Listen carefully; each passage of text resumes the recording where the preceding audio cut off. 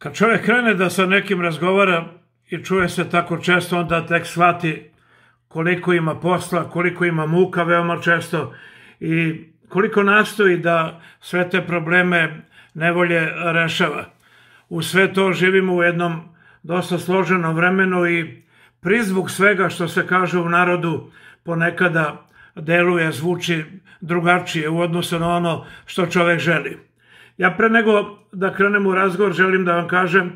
da sam uznemiren nekim detaljima, ali je to moja, moja i naša borba i ja ću tu borbu uh, boriti na svoj način. Nama niko ne ugovara ni sa kim telefonske razgovore. Ono što dobijamo kao informaciju dobijamo iz pravog izvora ja vas ne zovem slučajno na ovakav način, zato što ono što vi kažete, to je istina, ono što mi prenesemo, to je jedina moguća istina. Na samom početku vi ste mi obećali i evo prilike da najpre pošaljemo poruku i onima koji su verovali u vas, ali i onima koji su verovali u neke druge vesti, Niške, Leskovačke ili neke naše medije. Tako je. Ovaj, pa evo, pored pismenog saopštenja koje pripremamo za sve medije, upravo zbog ovog odnosa koji imamo i pravih informacija koje ste vi prenosili, odlučio sam da se uključim u program i da svim slušalcima i gledalcima na portalu prenesem i vest da je upravo dobijena vest od strane agencije da neće prekidati ugovore, da će verovatno da koriste e, pomoć vlade namenjenu za otklanjanje, otklanjanje posledica koronavirusa, tako da niko od zaposlenih neće ovaj dobiti prekid e, ugovora, a koristit će sredstva iz budžeta koja su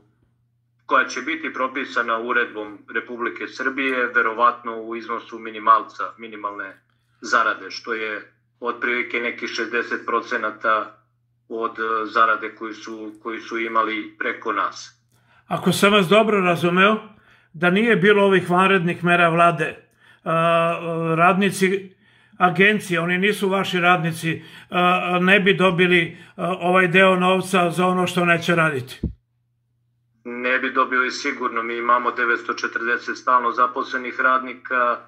opet kažem, radnici iz agencije su tretirani potpuno isto kao i naši radnici, to je naša dobra volja, neka se naši zaposleni preko agencije raspitaju kako to rade druge firme koje angažuju zaposlene preko agencije. Naši radnici, baš zbog poštovanja koje ja imam prema njima, ja sam radničko dete kao i većina nas, e, bukvalno imaju pravo i na godišnji odmor i na neke dru, e, iznos zarade koji propisuje kolektivni ugovor podjednako rame uz rame sa radnicima koji su stalno zaposleni. U ovoj situaciji mi nismo mogli da apliciramo za pomoć o, za te radnike koji, e,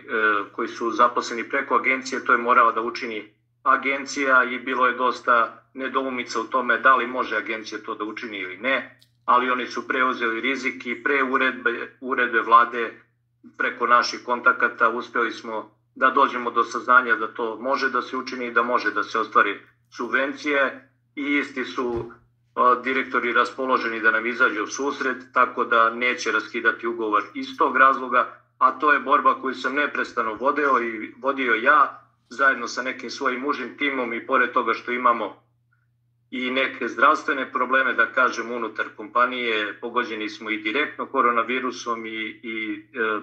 da ne pričamo o posledicama koje će imati celo, celo tržište, da kažem, naše e,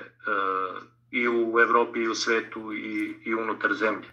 To je tek neka bitka koja nam predstoji, ali evo, jednu po jednu bitku kao i do sada dobijamo, a ja moram da poručim nekome ko ne veruje u Tigar da, da mu nije mesto ovde